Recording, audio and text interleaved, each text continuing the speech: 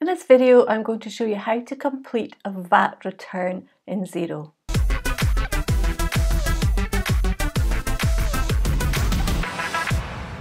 Okay, in Xero, before you ever do a VAT return, you want to go to Settings, choose General Settings, and then go to the Financial Settings.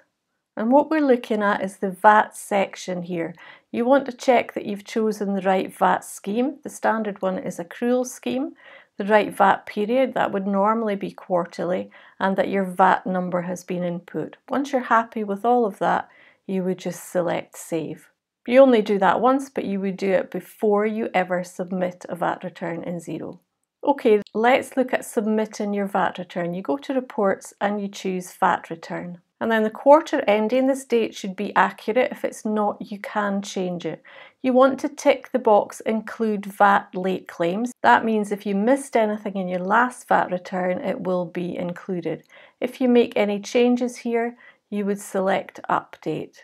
And then when you scroll down, you will see your VAT return and you could go straight to File VAT Now to submit it. But we want to do a couple of further checks before we do that. And these are very important. So the first check I want you to do is I want you to click on the tab that says VAT Audit Report. And on this report, you will see every transaction that's included in your VAT return.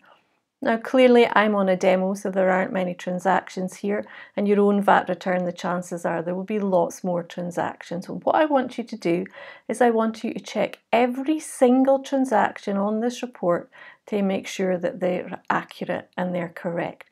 So you're looking at VAT on income and you're looking and these are sales invoices. So you know by looking at them that it's correct that you would claim VAT on these.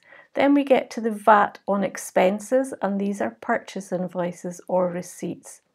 We scroll through them quickly and we say yes, we should be claiming VAT on these, and then we come to ABC Electrical.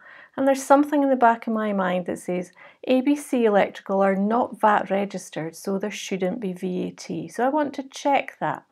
So I can just click on the invoice to check it. And then what I'm going to do, I'm going to look at the backup document from ABC. There's not much to this purchase invoice, but there's enough to let me know that yes, it's right that there's no VAT on that invoice. So I'm going to amend the invoice and I can do it right here. So I'm going to choose bill options. I'm going to choose edit.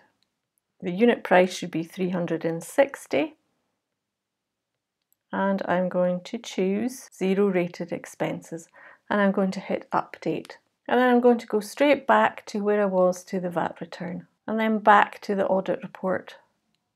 And now when I check it, I am happier here because I've got the transactions where I'm claiming back VAT, I've checked them all, and now I've got ABC Electrical with no VAT to claim back. As I've said, this is demo data, so there's not a lot here. If you have a lot of transactions, what I suggest is you scroll down, you choose the export option and either export to Excel or Google Sheets, depending which one you use. So if we export to Google Sheets, I clicked on the tab that says VAT Audit Report, even though you couldn't see that on your screen. And on this spreadsheet, it's just going to be easier to check transaction by transaction than looking at on a screen.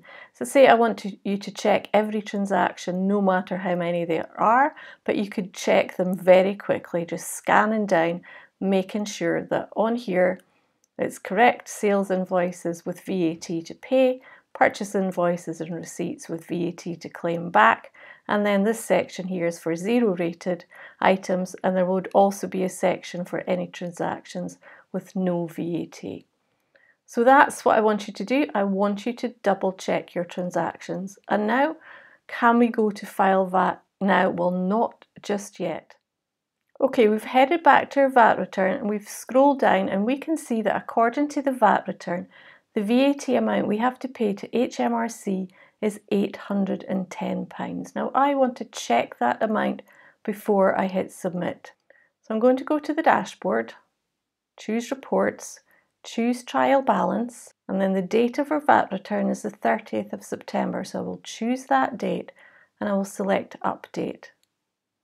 Then on the trial balance, I want to go over to the right to the year to date figures. I'm scrolling down to the liabilities section and I'm looking at the VAT amount. And the VAT amount there is 810. Reminder, we head back to our VAT return and it's the same figure, 810. So now I'm happy for you to go ahead to the green File VAT Now. So what have we done before we've got to this stage? We've checked that our VAT settings are correct. We have checked that we're happy with every transaction going through the VAT report and we've checked that the balance agrees. Then and only then will we hit File VAT Now. We're happy with the details that are there. We choose File and Publish. And then clearly I can't do this in demo data, but you would fill in your government gateway login details and you would hit the final File and Publish. And that's your VAT return completed in Xero. You'll get notification from HMRC if you went to reports and all reports Again, we're on demo data here, so it's a bit difficult, but if we went to filed with HMRC, that's a section that would include all the reports that have been filed and accepted by HMRC. If we go to published, once the VAT return has been completed, we'll be able to find it there as well. So that is how you complete a VAT return in Xero. Don't be fooled into thinking it's only five clicks. Make sure that your settings are accurate, make sure that everything on your VAT return is accurate, and make sure that the balance is accurate. Do these checks before you hit submit, and you will be absolutely fine doing VAT returns in Xero. As always, if you like my videos, please let me know that you like them. And why don't you subscribe to the channel so you get notified when new videos are uploaded each week. Until next time, happy Xeroing!